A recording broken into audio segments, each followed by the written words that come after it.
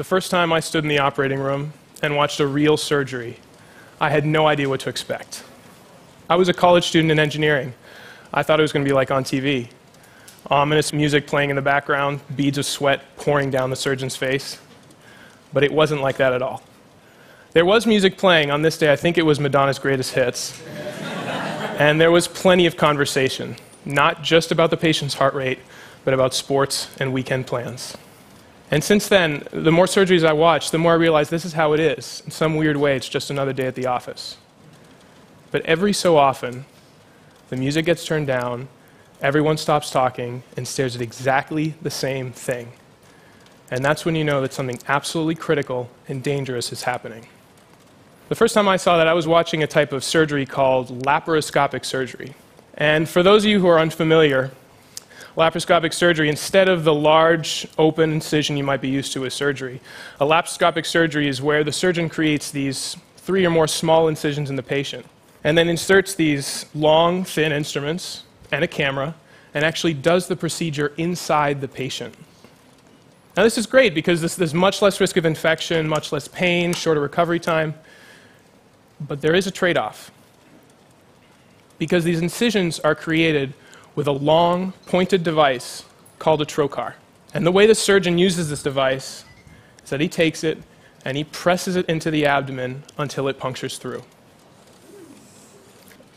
And now, the reason why everyone in the operating room was staring at that device on that day was because he had to be absolutely careful not to plunge it through and puncture it into the organs and blood vessels below.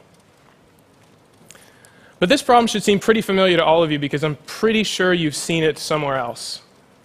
Remember this?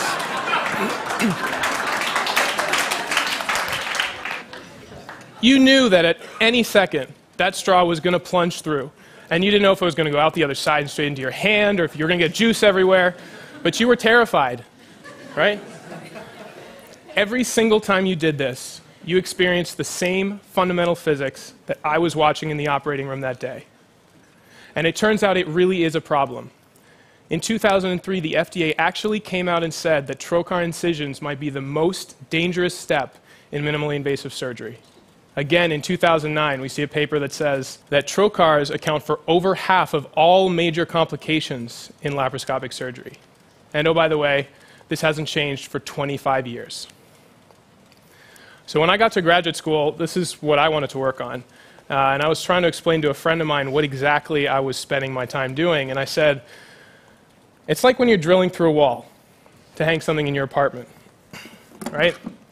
There's that moment when the drill first punctures through the wall, and there's this plunge, right? And he looked at me and he said, You mean like when they drill into people's brains? And I said, Excuse me? And then I looked it up, and they do drill into people's brains.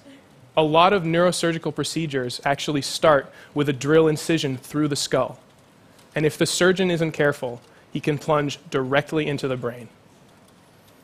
So this is the moment when I started thinking, okay, cranial drilling, laparoscopic surgery, why not other areas of medicine? Because think about it, when was the last time you went to the doctor and you didn't get stuck with something, right?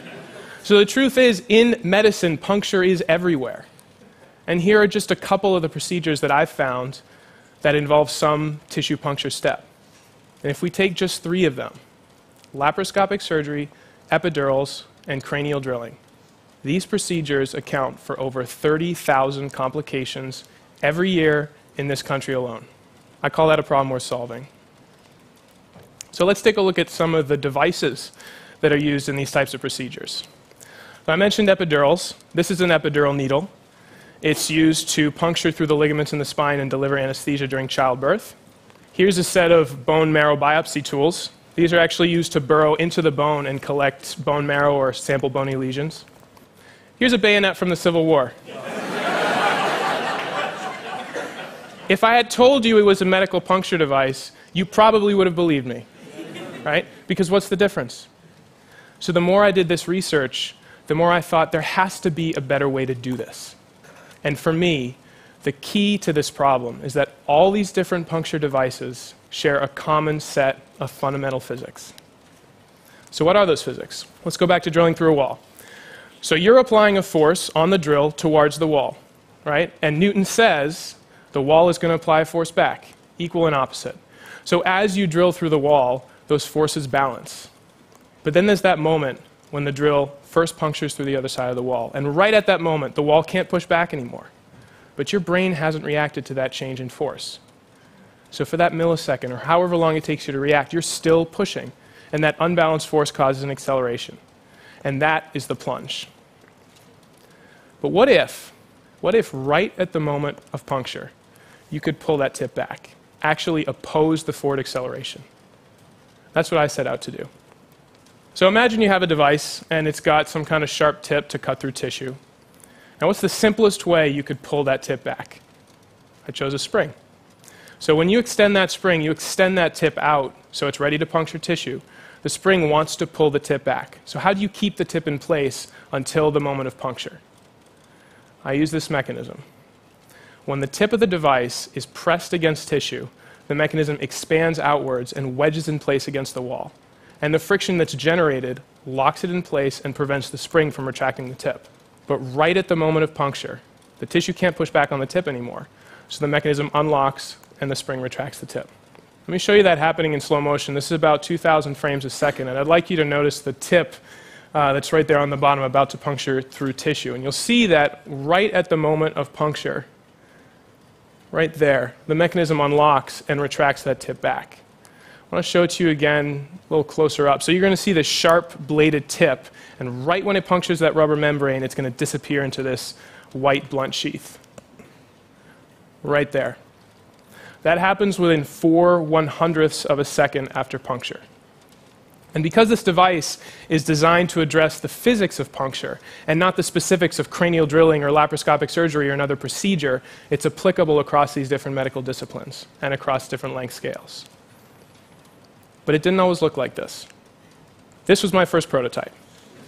Yes, those are popsicle sticks, and there's a rubber band at the top. It took about 30 minutes to do this, but it worked. And it proved to me that my idea worked. It justified the next couple of years of work on this project. I worked on this because this problem really fascinated me. I mean, it kept me up at night. But I think it should fascinate you too, because I said puncture is everywhere that means at some point it's going to be your problem too.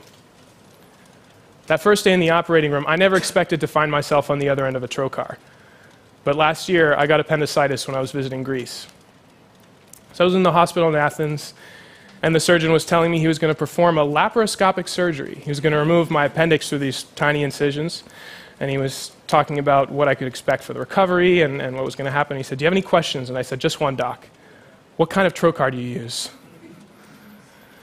So, my favorite quote about laparoscopic surgery comes from a Dr. H.C. Jacobaeus. It is puncture itself that causes risk. And that's my favorite quote because H.C. Jacobaeus was the first person to ever perform laparoscopic surgery on humans, and he wrote that in 1912. So, this is a problem that's been injuring and even killing people for over 100 years. So, it's easy to think that for every major problem out there, there's some team of experts working around the clock to solve it. The truth is, that's not always the case. We have to be better at finding those problems and finding ways to solve them. So if you come across a problem that grabs you, let it keep you up at night. Allow yourself to be fascinated, because there are so many lives to save.